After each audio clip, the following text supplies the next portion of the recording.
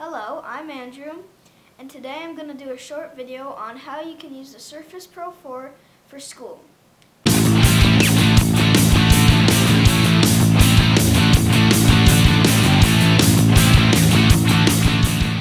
first thing I want to cover is OneNote. So say you find a very, a very interesting subject and you want to screen capture.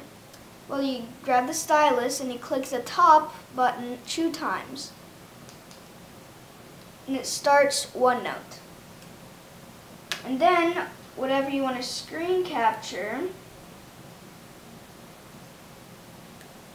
then it automatically sends it to OneNote. Then you can add texts. Or you can just draw and say,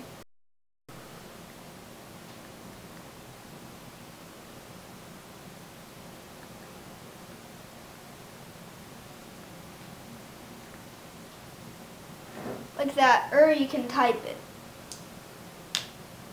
The next subject is something that you would really, really use for school with OneNote. So, say you go to an education website for home, for homework, and you see a worksheet that you really, really want do, but you don't know how. So then you click on the worksheet, and then you click the top button two times again. Just like that.